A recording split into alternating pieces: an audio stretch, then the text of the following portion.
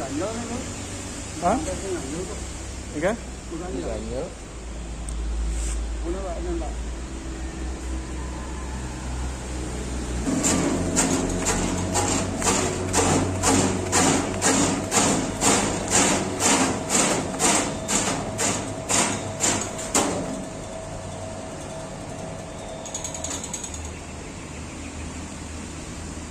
lempar itu, Pak.